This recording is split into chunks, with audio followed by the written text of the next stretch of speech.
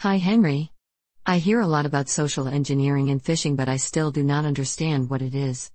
Can you explain it? Let me give you an example to make it easier. Let us say I want to trick you into believing that I am authorized to make changes to your computer system. That sounds spooky. How would you do that? I could start by searching online for companies that have implemented work from home. Or I can pretend to be from a local newspaper and simply call the front desk and under the story of doing a report on home office ask them. As soon as I find a company with a home office policy, I start searching for employees of that company and I find your profile. Okay, now it is getting interesting. But I still have to trick you into believing me so I find a couple of more people from your company so I can casually drop their names to make you believe it is all legit. And I need two or three names from people in the IT department. How does that help you? I would, for example, call you and tell you that I am from the IT department and mention some names you might know, or say so and so give me the instruction to call you.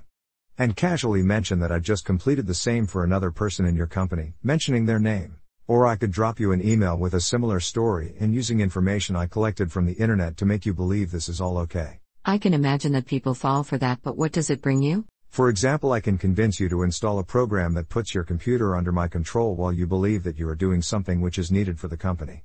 Or convince you to send me confidential information which I can use later on. How can I protect myself and my company against this?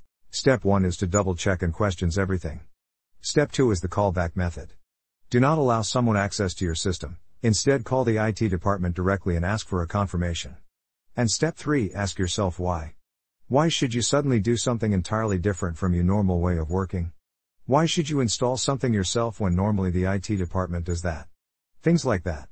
Stay alert. Be cyber smart.